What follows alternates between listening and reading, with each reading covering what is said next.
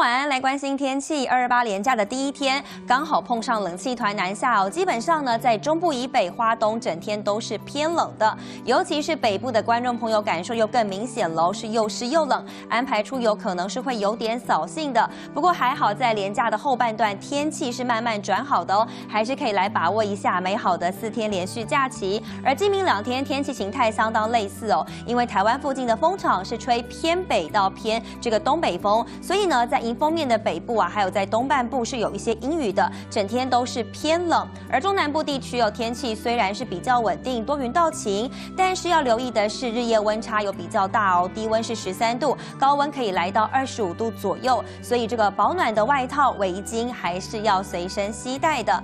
好，强烈大陆冷气团来袭哦，那么气象局呢，从今天到明天白天，针对了好几个县市发布了低温特报，北北基、桃园还有新竹。以及宜兰是发布了橙灯，那么呢一整天的平地气温会在十二度以下哦，同时要留意局部有十度以下低温出现。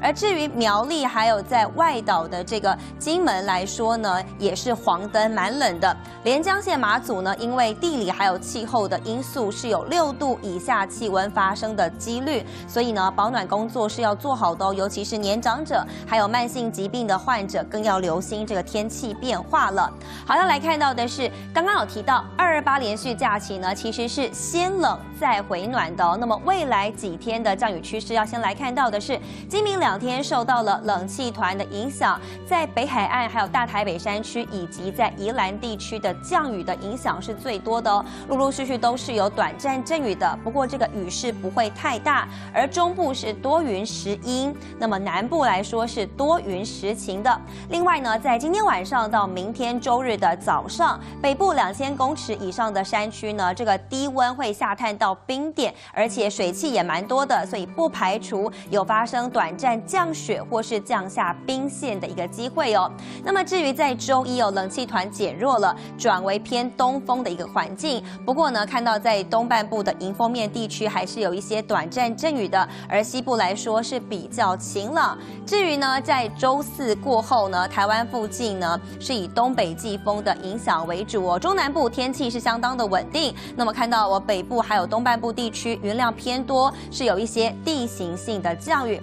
好，要来总结一下连假四天一直到开工之后的整个天气走势了。基本上呢，就是先湿后干，先冷再后回温。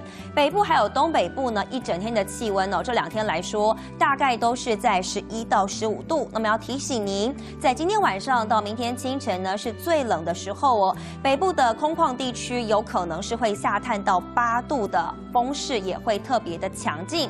至于中南部来说，白天天呢，因为有阳光，所以感受上是比较没有寒意的。主要是在早晚的时候会觉得比较冷。好，虽然说呢，下周一会慢慢的回温，但是要告诉您，在周一的清晨还是比较冷的。而白天阳光露脸了，这个太阳出来，气温才会慢慢的回升哦。而在周二来说，北部的高温可以回升到二十度以上。在连假最后一天，总算是迎来了好天气哦，还是可以安排户外活动的。那么各地的。天气都是相当的稳定，不妨来把握一下了。好，至于在周三要返回到工作岗位了，受到了东北季风影响，北部晚上呢是会开始转雨的。那么呢，到了周四来说，往北走或者是往东走，这个降雨的机会是比较高的。而周五的天气是在好转的。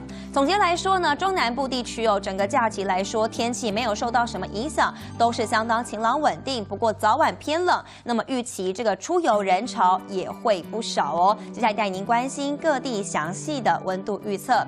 来看到北部地区这个高低温来说说呢，是在十二到十四度。那么尤其在清晨、夜晚来说是更加的低温。